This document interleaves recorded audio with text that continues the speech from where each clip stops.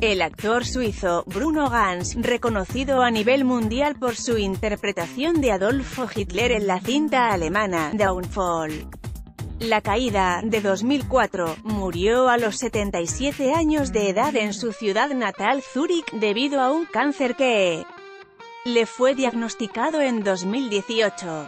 Su interpretación como Hitler en Downfall, de hace 15 años, trascendió a la era de las redes sociales, Facebook, WhatsApp, Instagram, ya que una escena en especial, en la que representa al máximo dirigente de la Alemania nazi en plena furia, se convirtió en un meme y ha generado parodias en línea de numerosos eventos noticiosos. En la escena, que ha dado la vuelta al mundo a través de Internet con subtítulos diferentes, dependiendo el evento de que se hace parodia, aparece Hitler en un escritorio, dirigiéndose notablemente molesto a varios de sus hombres.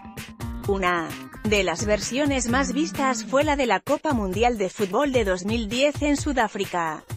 En la cinta, recaudó 92 millones de dólares en taquilla a nivel mundial en su lanzamiento, Guns encarna a un Führer derrotado en sus últimos días en su búnker de Berlín. El actor suizo, quien nació el 22 de marzo de 1941, era muy conocido por su carrera de más de medio siglo en el cine, la televisión y el teatro de lengua alemana, la cual lo hizo merecedor del anillo de Ifland, que lo lleva a quien es considerado el mejor actor del momento en dicha lengua. Destacó también por sus papeles en cintas de Wim Wenders como El amigo americano, tan lejos, tan cerca, y El cielo sobre Berlín, y su último trabajo fue de narrador en la ópera de Mozart. La flauta mágica, durante el Festival de Salzburgo, Austria.